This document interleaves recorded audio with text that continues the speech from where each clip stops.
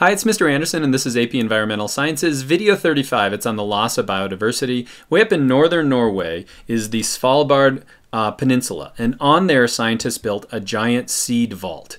It's protecting the seeds of humanity, our crop seeds, into the future. They chose to put it there because it's protected against tectonic activities. It's really, really cold. Uh, and also, as the sea levels rise, it's going to be protected as well. The idea was hundreds or thousands of years into the future, we could go there and grab seeds and then start growing those, uh, those crops again. Unfortunately, we've already had to make withdrawals from that area. And the reason why is the war in Syria put a lot of these drought resistant crops at risk. And so they've had to take more seeds out and they've moved those to Lebanon. But it does kind of get at this idea of the importance of biodiversity. Biodiversity is not only species diversity, but it can be genes, species, especially uh, our domesticated crops and livestock, and then ecosystems themselves. And they have value. They give us our resources, and they also do these ecosystem services. And they're at risk. We're seeing biodiversity loss all around the planet. The causes are habitat loss, invasive species, climate change. We also have overharvesting and then finally pollution are all impacting biodiversity.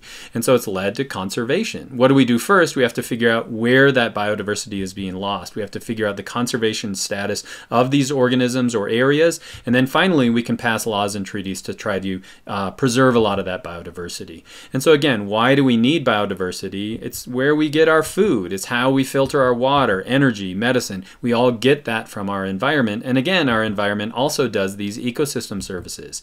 They keep our climate stable. Um, they decompose material once it's died. They pollinate our crops. And so we need biodiversity on, on our planet for resources and to do these services. If we define what it is, it's simply a variety. Variety at the genetic level, at the species level, and at the ecosystems. And so those genes that organisms have, once the organism is gone or the gene is gone, it's gone forever. It's extinct.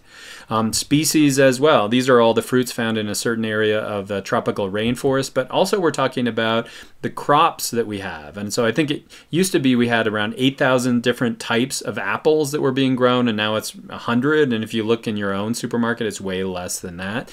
And then it's ecosystem changes as well. Once an ecosystem is gone, coral reefs, for example, you can't build that back again.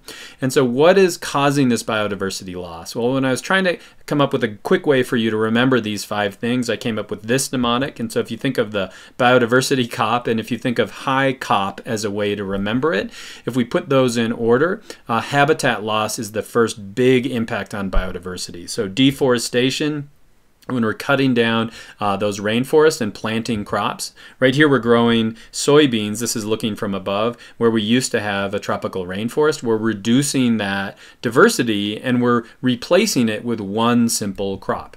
Invasive species, this is kudzu. It's a plant that was brought from Asia. These are the zebra mussels in the Great Lakes that they're really wreaking havoc. They came uh, from the Mediterranean. We're also seeing climate change uh, impacting biodiversity. So if we look at the polar bear, for example, will they go extinct? It's hard to tell. But if we look at all the areas where they used to do well, we're seeing a decrease in the optimal uh, polar bear habitat. Also, over harvesting. Humans have been harvesting animals for a long period of time. The dodo is extinct because we killed all of the dodos.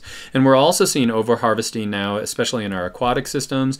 And then we can have pollution. Pollution's impacting the environment as well. So if we look at that Deepwater Horizon explosion, um, that led to an oil spill, which is impacting biodiversity biodiversity in the Gulf of Mexico, and it'll take us years to figure out how that impacts it. Now, this has been going on for a long period of time. Extinctions are a part of nature. And if we look back through the fossil record, we've seen five major mass extinctions over time, and they have different causes.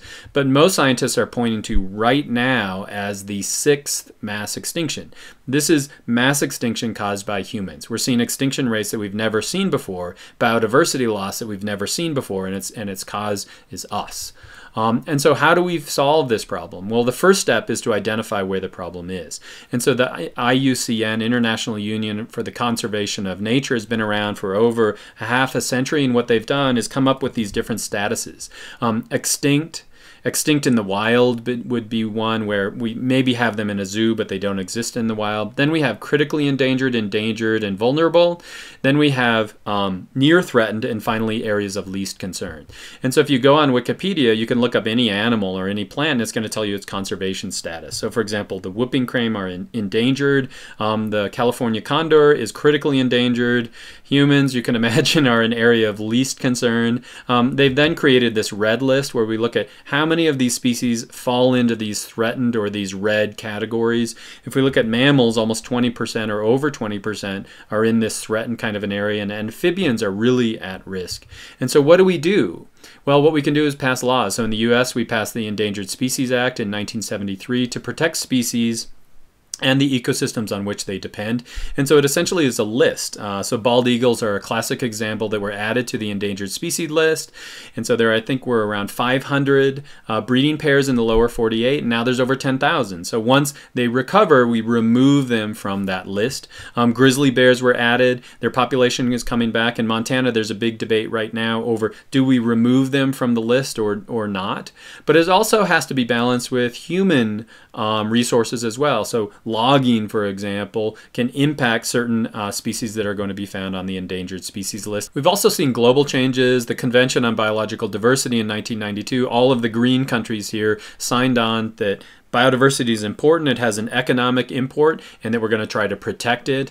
But again, it's not legally binding. And so we're still seeing huge decreases in biodiversity. And it goes back to the first thing I talked about in this class the idea that the planet supports society, but society is driven by economics. And so we're never going to see decreases in biodiversity loss until there's an economic incentive or a way to do that. And so, did you learn the following? Could you pause the video at this point? And fill in the blanks? Well, let me do that for you. Biodiversity has value. It's a variety in the genes, species, and ecosystems, again, especially the domestic ones that we need to survive. That loss is caused by high COP, uh, so that's habitat loss, invasive species, climate change, overharvesting, and pollution. And then how do we solve this? Through conservation, we figure out the status of those organisms or maybe those ecosystems, and then we start to protect them through laws and treaties. So that's it, and it's also the last of the videos on AP Environmental Sciences, I hope that was helpful.